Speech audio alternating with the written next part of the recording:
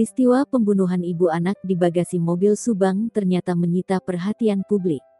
Korban yakni Tuti Suhartini, 55, sang ibu serta anaknya Amalia Mustika Ratu, 23, ditemukan meninggal secara tak wajar di bagasi mobil mewah.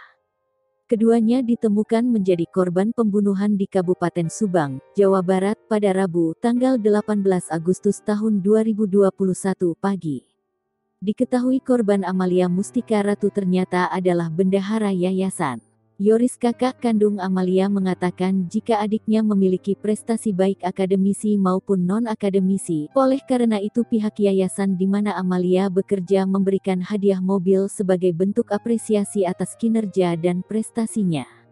Yoris juga mengungkap jika banyak pemuda dari lingkungan rumah maupun kampus banyak yang menyukai sosok dari Amalia. Bukan hanya itu, Yoris juga menjelaskan sosok Amalia di mata keluarga, ia memiliki pribadi yang lugu, sopan dan baik. Sementara itu, paras cantik dari Amalia tersebut juga diungkapkan salah satu pria tetangga rumahnya, ia sempat mengagumi Amalia karena kebaikan dan parasnya yang cantik.